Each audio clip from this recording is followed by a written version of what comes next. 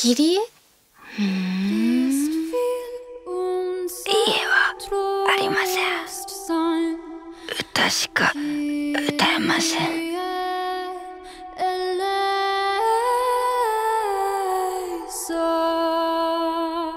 私のこと一個って呼んで。真織って名前は捨てたの。何言わんって？誰？恋人です。一緒になる約束をしてました被害総額は現状2億7千万円。いやちょっと待ってください。あなたには何にもできないんですよ。もしもしキリエ？ねえ切り絵ってどういう意味？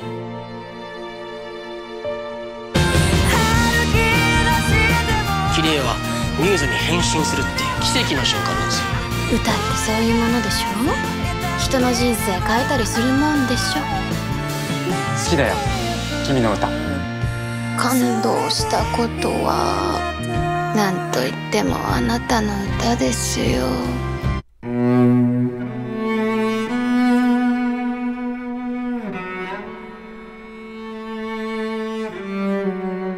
ねえずっと一緒だよね。一度も守れなかった